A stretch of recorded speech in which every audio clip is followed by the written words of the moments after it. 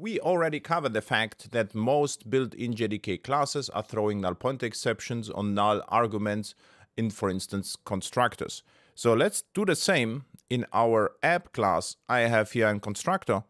Um, and what I'm doing here, I'm checking here the uh, name to be null. If it's null, I'm throwing a null pointer exception. So if I run the code here, um, this is how it looks like. No surprises, null pointer exception. The question is what happens um, when I remove here the check? So if I rerun the code here again, you will see that the null pointer exception got, uh, or the message got much better. Why that? Because if you let the JVM throw the null pointer exception, you get um, more readable and nicer error messages.